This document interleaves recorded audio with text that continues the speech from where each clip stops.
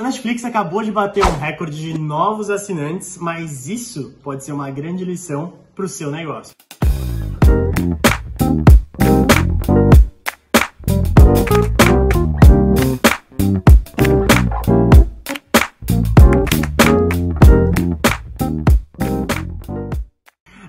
Brasil passou de 15,5 milhões de assinantes. Isso é muito mais do que qualquer canal de assinatura no Brasil. Mas por que eu tô falando isso? Porque o caso da Netflix tem vários pontos em que a gente pode ter aprendizados muito grandes. Então vamos lá. A Netflix começou mais ou menos em 1997. Teve várias variações, mas eu não quero falar disso. Eu quero falar de alguns fatos. Primeiro, em 98, um tal de Jeff Bezos. Ele hoje é um cara que você deve conhecer, o dono da Amazon, sabe? Um dos mais ricos do mundo. Pois é, esse cara. Ele tentou comprar a Netflix. E a Netflix disse não. Em 2000, eh, veio a Blockbuster e tentou comprar na época lá das fitas e tal. Tentou comprar a Netflix, disse não. Eu tenho certeza que só não temos hoje uma Netflix do Facebook porque o Facebook não era muito grande na época e não tentou comprar. Porque senão o Zuckerberg ia falar, não quer me vender? Então deixa aqui comigo que eu vou fazer o meu próprio. Mas não é isso. Então, o que aconteceu? Legal, não conseguiu vender, a Netflix começou a crescer, continuou crescendo. Há anos ela vem trabalhando, mudando seu modelo de negócio, sempre se atualizando. O mais incrível, o mais curioso é que assim, por, o que me deixou bem assim foi porque que o Bezos, desde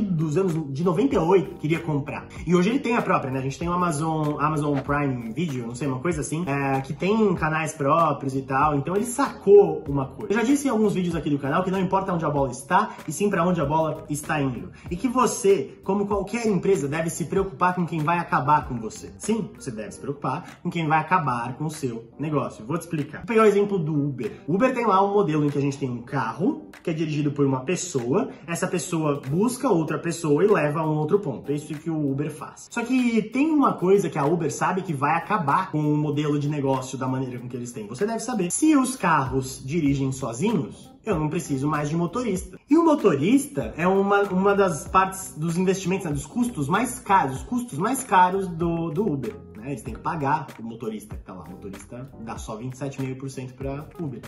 E se a Uber tivesse um carro que dirige sozinho e não precisasse mais do motorista? Ela ficava com tudo para ela, né? Tirar os custos de gasolina, de manutenção e já era. Então o que, a Uber tá fazendo? Tá testando o carro autônomo. Porque eles sabem que isso é o que vai tirar eles do jogo. E se eles não estiverem se desenvolvendo, se eles não estiverem acompanhando, pode vir uma nova empresa, um novo entrante, desenvolver aquele modelo de negócio e passar à frente porque começa a ter uma margem brutal, assim, quando você tira o custo humano que é o motorista, a sua margem se torna brutal. Você pode ter, você tem um lucro sinistro. E aí o cara pode simplesmente diminuir a margem dele para igualar para poder ficar assim, para quebrar o Uber mesmo. Isso é possível de acontecer. Mas a Uber é uma empresa que ela visualiza o futuro, então ela se preocupa com o que fazer. E é claro que existem N maneiras de você lidar com isso. Vamos dar o exemplo do Zuckerberg. Ele viu lá o Instagram, que tinha o Snapchat tinha os stories. Ele foi lá, tentou comprar o Snapchat. O Snapchat não quis, não, não vou vender não. Sou, sou mandrão aqui, não quero vender, tô indo bem, vou continuar crescendo. Vou, tenho meus óculos, tenho meus óculos que eu vendo em outros lugares. O Snapchat vendeu uns óculos, não sei se você sabe, assim, foi aleatório. O Zuckerberg tentou comprar, o Snapchat falou não, ele falou, então beleza, eu vou pôr em todo lugar, no WhatsApp, no Instagram, no Facebook, em todo canto. Colocou. E aí teve um tempo de desenvolvimento, teve várias coisas assim, mas o ponto é,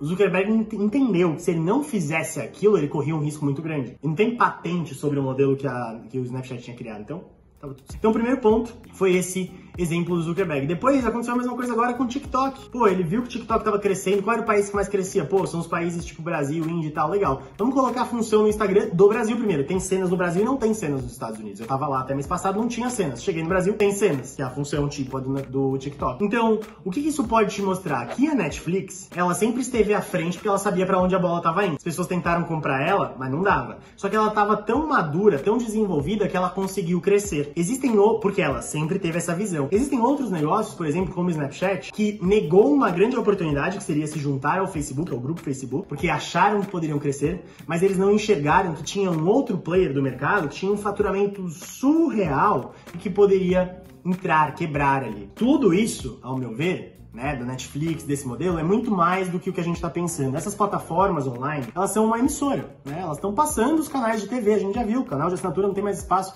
a Globo está desesperada, todos os canais estão desesperados. Só que o mais importante não é só isso, é que hoje você, eu, o Tutu, todo mundo é um emissor, uma emissora. Nós somos um canal. Os seus stories no Instagram são a sua grade diária de conteúdo. O seu post no feed é um conteúdo que está na sua emissora. E aí vem a minha pergunta para você. Será que hoje a sua emissora é a Globo, que tem programas bons em todos os horários nobres e que, claro, tem os problemas de audiência aqui, mas vamos considerar o conteúdo só, tirando a audiência. Se é a Globo, que tem vários programas bons em horário nobre, ou se é a Gazeta, que tem um programa e que as pessoas gostam. Porque se você é a Gazeta e tem um único programa, o que acontece? As pessoas vão no seu perfil, vão acompanhar você uma vez por semana. E a gente sabe que isso não é bom no longo prazo. Agora, se você é a Globo, tá todo mundo passando pelo seu perfil o tempo todo. As pessoas querem compartilhar. E o que a Globo faz de tão diferente? Vamos lá. Qual que é uma coisa chata que tem na Globo? Jornal Nacional. Notícia é chato, ponto. Embora seja importante, é chato. Como a gente faz a notícia ser mais interessante? Faz um sanduíche lá, coloca a novela das 7 antes, novela das 9 depois e pronto. O povo tá assistindo a novela, vai ter uma horinha de conteúdo no meio de jornal que eles nem ligam de passar o canal, eles estão comendo ali, e depois eles já vão pra novela das 9. Então, você tem que pensar em você como uma emissora. Talvez como um Netflix. Hoje Netflix tem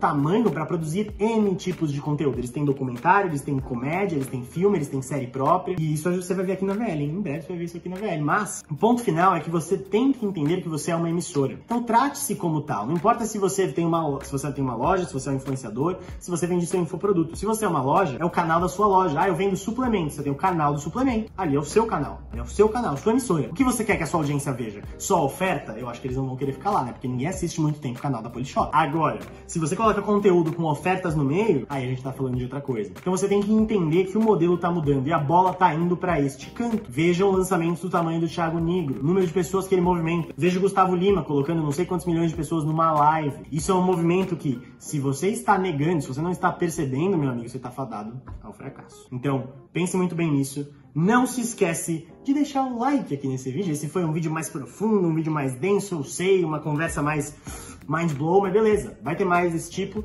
Mas dá like, dá like, porque o like não é só um botão, é um botãozinho. E se inscreve no canal, que você recebe mais vídeos como esse, assiste as aulas do Labs, enfim, tudo isso. E eu sou o Luiz aqui da Você Ligado, eu te vejo no próximo vídeo.